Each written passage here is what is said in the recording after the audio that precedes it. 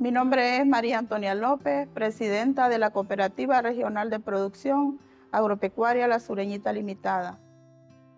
Estamos ubicadas en el municipio del Triunfo, también en el municipio de Namasihue, departamento de Choluteca, Honduras.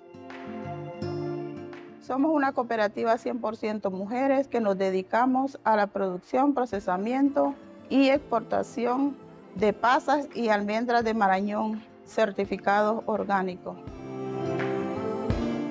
Nuestro cliente en Europa es GEPA, una organización de comercio justo.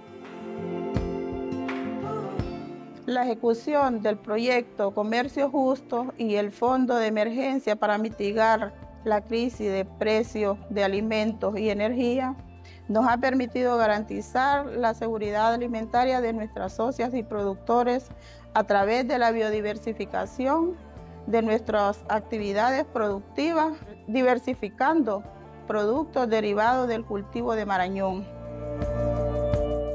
permitiéndonos implementar medidas del aseguramiento de la calidad a través del mejoramiento de nuestras plantas procesadoras y el fortalecimiento de capacidades en temas de calidad, género y buenas prácticas de manufactura.